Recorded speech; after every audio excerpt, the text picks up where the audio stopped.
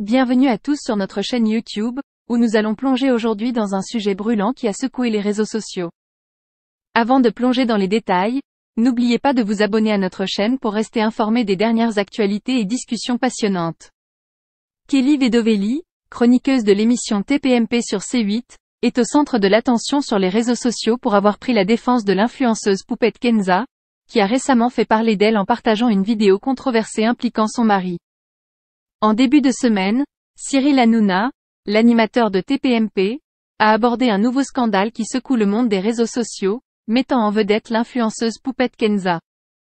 Cette dernière a fait des déclarations choquantes sur ses plateformes en ligne, provoquant un tollé parmi ses followers. Face à cette situation, Kelly Vedovelli a décidé de prendre la parole et de soutenir Poupette Kenza lors de l'émission. Elle a notamment déclaré, Ma fille n'a rien vu ni rien compris, arrêtez de déformer les faits. De plus, le conjoint de Poupette Kenza a révélé, en plus de cela, si vous voulez les détails, j'avais mon caleçon. La vidéo en question a également contenu des commentaires troublants tels que, j'ai regardé un truc là, j'ai levé la tête, direct. Le Z astérisque Z à mon père, c'est le zizi à mon père. Cependant, Poupette Kenza a affirmé qu'il s'agissait d'une erreur de sa part. Cette prise de position de Kelly Vedovelli a suscité des réactions mitigées sur les réseaux sociaux.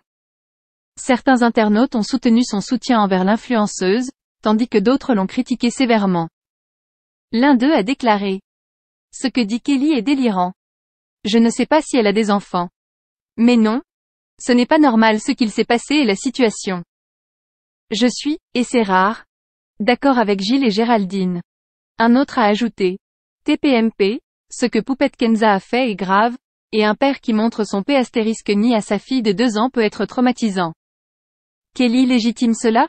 Qu'est-ce qui ne va pas dans ce pays détraqué Si ce n'était pas si grave, pourquoi Poupette Kenza aurait-elle supprimé la vidéo ensuite? C'est un sujet complexe qui suscite de vives réactions et débats. Nous vous invitons à partager vos opinions dans les commentaires ci-dessous.